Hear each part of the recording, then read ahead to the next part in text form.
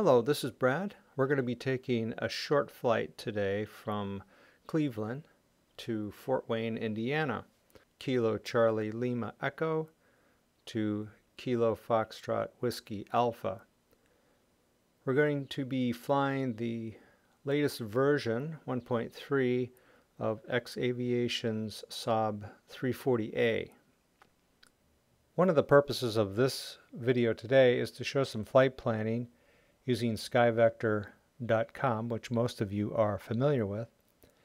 And then a little tool that I wrote that will convert these flight plans that you can find at flightaware.com, skyvector.com, and RouteFinder, and convert them into .fms files that can be loaded into the Garmin 430, 530, or even the default FMS that comes with X-Plane.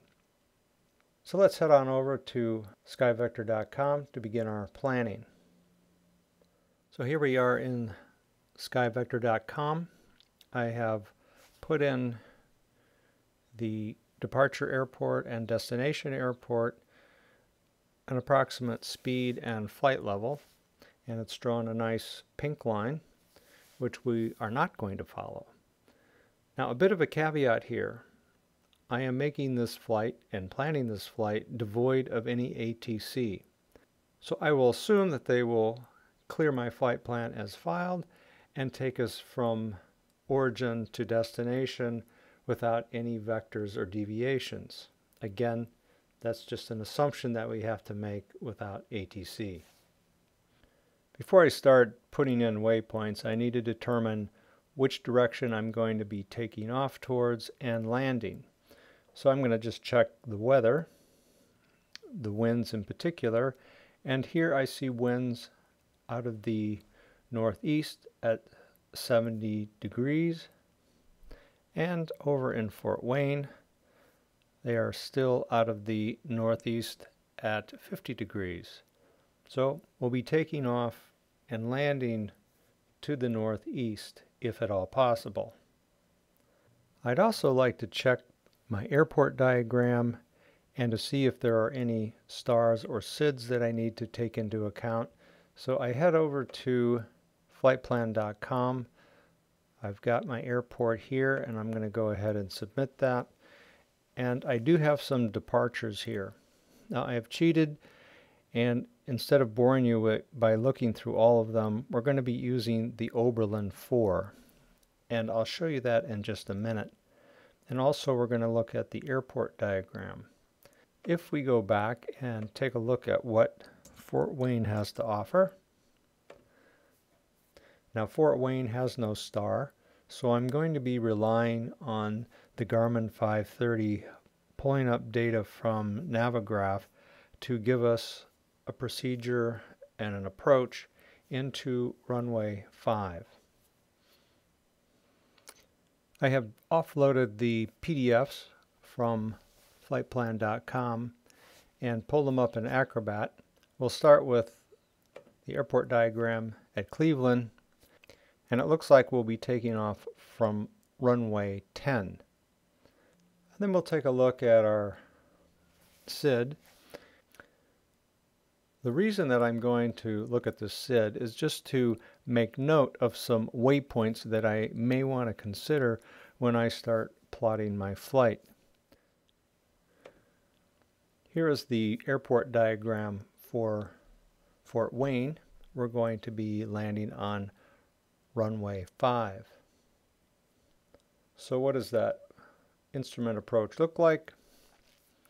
I'm going to be looking for a procedure that uses an initial approach fix at Chimley. Then I will intercept the localizer somewhere in this area and then finally pick up the glide slope at Hoons. Now I have taken the liberty of pulling up page 2 of the Oberlin SID to see if there are any instructions that might be helpful and uh, one of the things that you do look for would be an initial altitude. So take off runways 10, climb on assigned heading to 5,000 feet. I'm also looking for a transition. The one they give for Fort Wayne is for use by Fort Wayne arrivals only. And it'll be interesting to see if the Garmin actually has me fly to this VOR, which happens to be right on the field. But anyway, I don't see any other instructions here um, that would be apropos to our flight today. So here is our SID again, and I'm going to take a few minutes and just type up a list that I can have off to the side of these particular waypoints. Alright, back to skyvector.com. I've got my list of waypoints on my SID listed over here just for handy reference. Now this is a VFR chart. I'm planning instrument flight. So I will switch over to our en route chart low. And this will give us our waypoints uh, at our altitude or close to our altitude. So I'm just going to go ahead and begin typing these in. We'll be fine first to dryer, which is right here. So after we take off, we'll make a right turn and head towards dryer. Our next one is Bruntz. And then Oberlin, the namesake of our SID. So we're headed a little bit southwest, finally to Flag City, VOR. So that gets us about three quarters or two thirds of the way to Fort Wayne.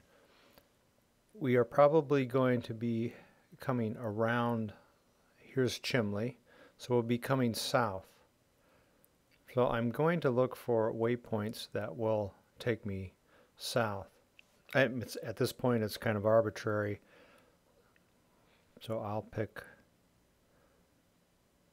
Osper and add it to my plan. There's probably no need to have one in between. I don't really see one that's handy. I'll add one before Chimley. Wagner. So probably at this point I'll be selecting an approach on the Garmin. So what do I do with all these waypoints? Well, I click this little button here that says Navlog. And I get this wonderful table that shows me all of my waypoints and coordinates.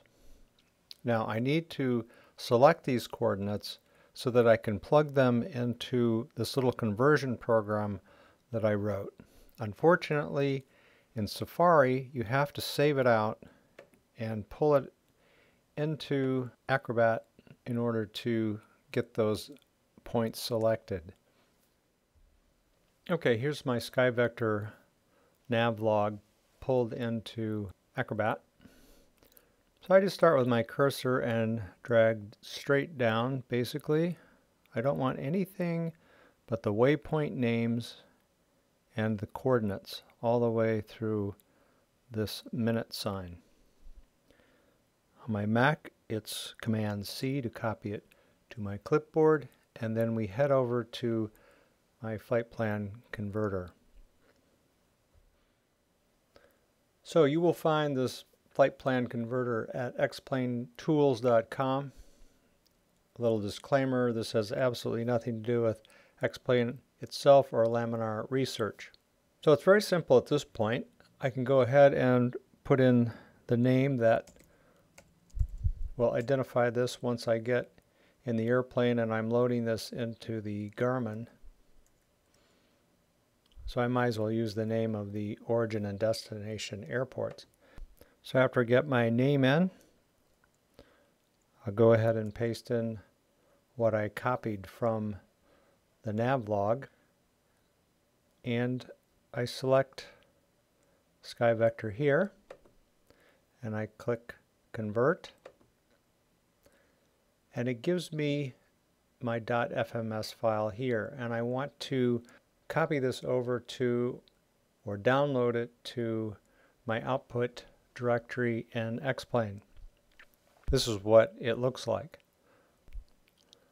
So I'll go ahead and I will right click, download linked file as.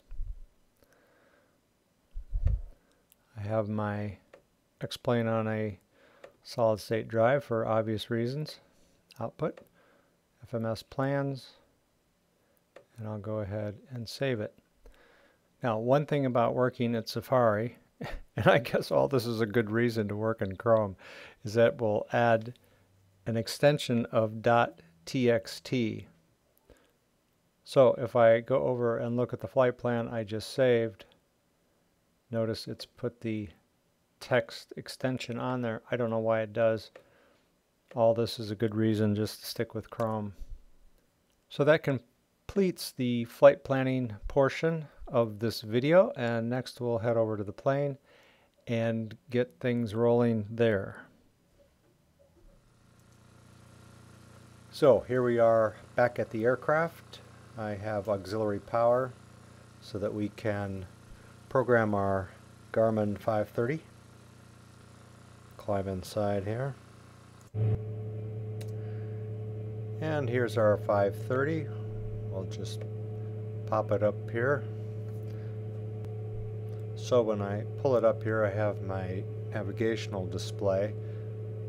What I really need is my flight plan or a list of waypoints.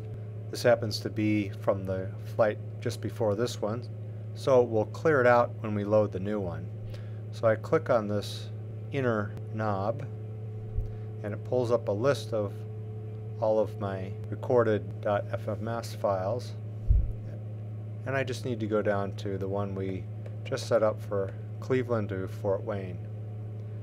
Click enter and if I go back to the flight plan, you can see that it has loaded all of the waypoints.